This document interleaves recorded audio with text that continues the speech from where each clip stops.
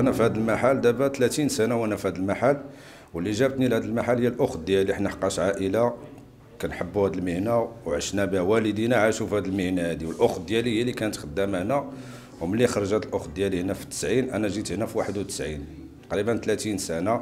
حنا كنحبوا هذه المهنة حنا ماشي مهنة هذه هذا راه مولوعين حنا بهذا الشيء ديال الحلويات. ابان عن جد كنصوبوا هذا الشيء هذا وجينا لهذا المحل هذا حيت هذا المحل عنده تقريبا 83 سنة وهو خدام.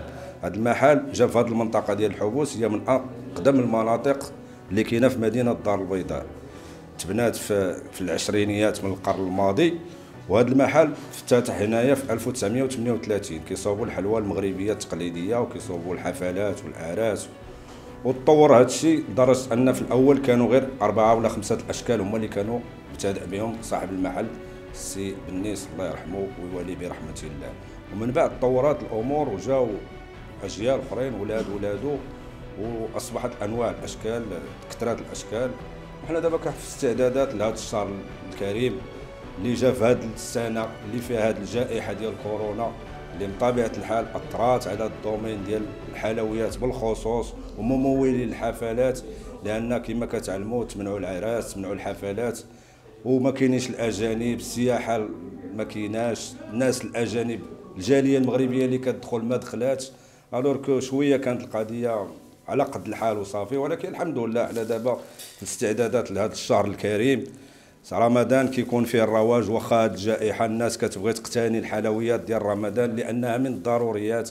كالشباكية السلو البريوات من المسائل اللي ضرورية كتكون في رمضان الشهيوات المغربية اللي كيستعملوها هنا والناس اللي المغاربة اللي في الخارج كيصدروا عليهم العائلات ديالهم.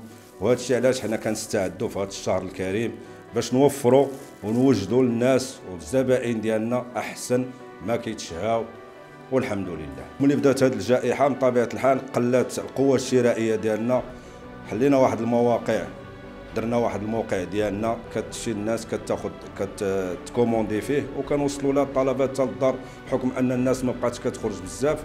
درنا واحد جوج ديال المواقع ديالنا باش الناس كتصل بهم وكنحاولوا نوصلوا لهم الطلبات ديالهم. في الوقت اللي كيطلبوها لنا فيه. هذا الشيء باش كنزيدوا شوية نروجوا المحل ديالنا بما أن هذه المنطقة ديال الحبوس منطقة سياحية وما كاين توريست والله يحد الباس.